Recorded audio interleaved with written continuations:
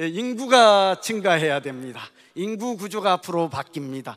그래서 인구가 증가하지 않는 도시, 인구가 증가하지 않는 지역은 땅값과 집값이 오르기 어렵다는 것입니다. 근데 여기서 한 가지 좀 주의할 게 있습니다. 서울은 지금 3, 4년 전부터 경기도로 인구가 유출이 되고 있습니다. 그러면 서울은 유망하지 않는 지역인가? 인구가 감소하면 이런 생각을 가질 수가 있는 것이죠. 그런데 우리 서울보다도 20년 정도 앞선 도시가 도쿄고 30년 정도 앞선 도시를 우리는 뉴욕 정도로 봅니다.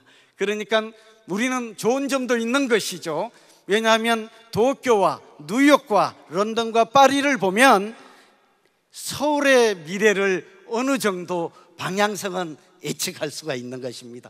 우리가 지금 최선진국이 아니라는 점은 그런 면에서는 상당히 도움이 될 수 있는 것이죠. 다시 좀 정리합니다. 서울은 인구가 감소하는 것은 천만이 곧 깨진다고 합니다. 감소하는 것은 맞느나 맞으나 그러나 지금 가고 있는 사람들이 경기도에 매년 한 35, 6명이 빠져나가고 인천으로 4, 5만 명이 갑니다만 이 가는 사람들이 3, 40대이고 전세난 때문에 가는 소위 말하면 비자발적 이주입니다. 비자발적 이동이라는 점을 주목해야 되고 직장을 옮기거나 자녀의 학교를 옮기기 위해서 자발적으로 가는 것이 아닙니다. 서울보다 더 좋은 직장, 서울보다 더 나은 교육시설은 대한민국에 없습니다. 여기서 하나 결론 내립니다. 결론 내립니다. 소결론이.